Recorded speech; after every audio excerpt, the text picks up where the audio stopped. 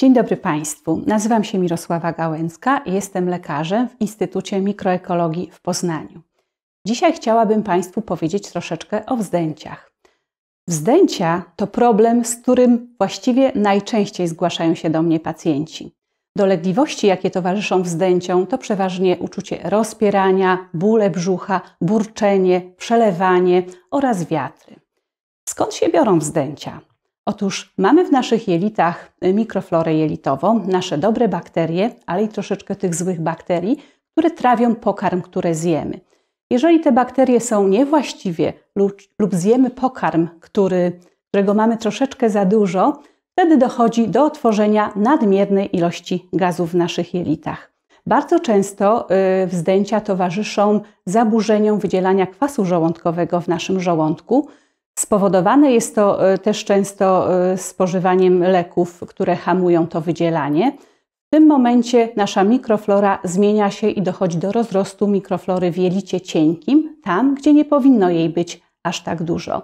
No i wtedy mamy wzdęcia. Oczywiście e, ze wzdęciami możemy sobie również w domu poradzić. Jeżeli zmiana diety nie prowadzi do zniesienia częstotliwości wzdęć, musimy się zastanowić, dlaczego tak u nas jest. Natomiast możemy spróbować herbat ziołowych, spożywania herbaty miętowej, z kopru włoskiego, spożywania kminku, dodawania do potraw bazylii, kurkumy, czyli takich ziół, które y, zmniejszają te wzdęcia. Jednakże, jeżeli zmiana diety, dodawanie przypraw nie prowadzi do poprawy, powinniśmy się udać do lekarza, i powinniśmy zrobić również badanie naszej mikrobioty jelitowej, badanie Kyber Compact Pro, które określi, czy mamy bardzo dużo takich bakterii, nazywamy je proteolitycznymi, które niewłaściwie trawią pokarm i powodują powstawanie gazów.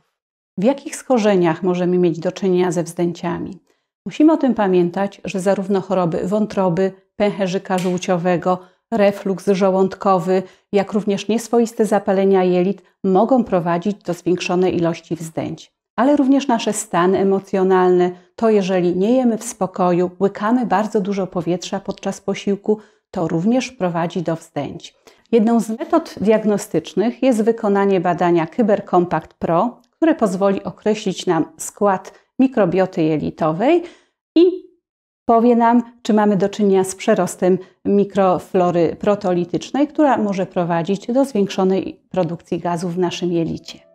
Jeżeli chcieliby Państwo dowiedzieć się więcej, w jaki sposób można zapobiegać wzdęciom w domu, proszę kliknąć link po prawej stronie i zapraszam do kontaktu z nami.